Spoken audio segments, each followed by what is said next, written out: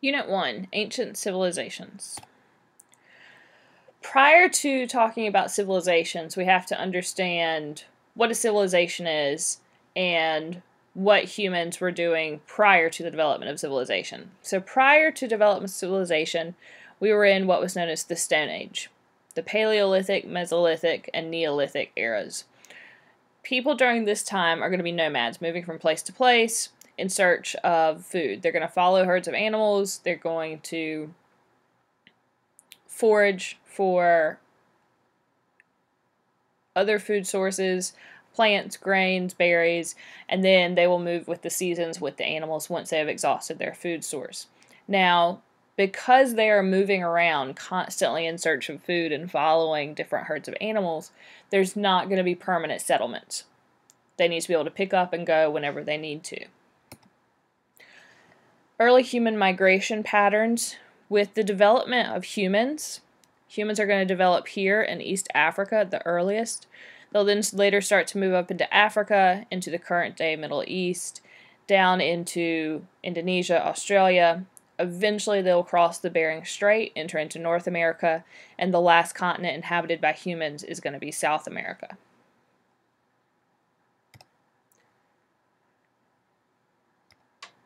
Now, how are people moving around at this time? Canoes, walking. They're going to try and stick close to the shore. The shore is going to give them a water source as well as a food source. We don't have the advent of sailing yet, and one of the main tools that's going to be used for hunting is a spear. So, the Neolithic Revolution. Anytime we see the word revolution, that's going to mean a big change something's happening. A revolution is not always a war, it just simply means that there is a shift in something. We start to see less nomads, and we start to see permanent settlements due to the development of agriculture. If you are growing crops rather than foraging for your food, you're going to have to stay in the same place. There you can't move around like they had in the past. We're also going to see the advent of domestication where you're going to take the plants that are producing the most and you're going to get the seeds from them in the hopes that the production of the next crop will be along the same lines and not less. So any crop that's not producing, you're not going to replant that one.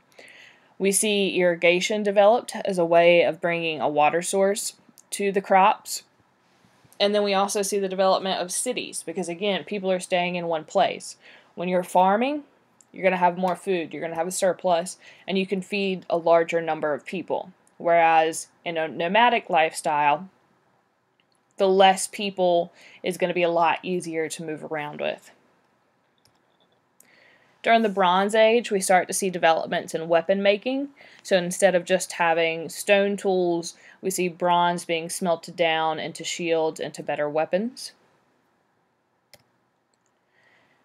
Çatalhöyük is the world's oldest farming site that we know of, located in what is modern day Turkey or Anatolia. What archaeologists have been able to deduce from their finds is that it may have had between five and six thousand people inhabiting it at one time. Why is this important? It tells us they have food and they have a food source, a water source that can sustain this large of a population. We've also found shrines, statues. This shows us that they had some sort of religion, some sort of belief system.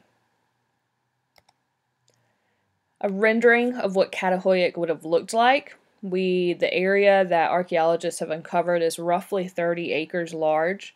The entrances to the houses were actually on the roofs. By connecting them, that would help protect them in case of an, an attack from a neighboring area. You can see the the crop fields are going to be out here. You've got a water source to bring irrigation to your crops. It's a water source for you. You can also use the water as a transportation source. Again, with the advent of farming, you have expanding settlements because you're going to have more food. Therefore, you can have a higher population. Expansion leads to cities, irrigation plus better harvest equals a surplus. A surplus is when you have extra than what you need. This is going to allow people to start trading their excess crops for other goods. So if you have more wheat than you need to feed your family, you can then trade that excess wheat for better tools that you can get in order to increase your crop yield in the later season. So, what is a civilization? We start to see cities. So, they're larger, more diverse than small villages. They've got defined boundaries, predominantly walls, in order to keep out attackers. And cities are also going to be trade centers centers so we're going to see people coming in with the seasons in order to hawk their wares trade their surpluses for other goods and then the actual definition of a civilization is it's a complex and organized society